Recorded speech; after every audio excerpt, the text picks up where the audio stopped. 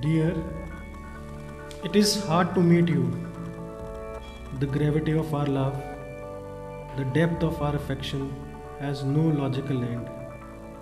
And I feel we must remain apart, remain in our nests, remain in our dreams, conceptions, and thoughts, but never meet each other. What do you think?